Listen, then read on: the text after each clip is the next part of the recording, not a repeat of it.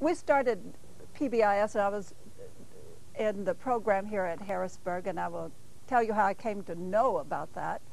Was that in the the state of Illinois requires every school and every school district to have a behavior management program, and my uh, supervising school psychologist called me one time and said, "Come and go to this program."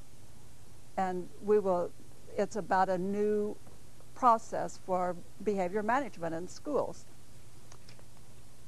We went to a administrators meeting in Chicago that Lucille Eber, the uh, Illinois uh, PBIS coordinator, was holding. And I sat there in the meeting listening to what Lucille was saying, and my first response was, this will never work at Harrisburg because I have everybody's worst 5% of kids. And, but as I sat there and listened through the thing, it came to me that, hey, you listen to all the discipline, you do all the discipline in school, and 20% of the kids cause 80% of the problems. It would be all of the numbers just match up for you.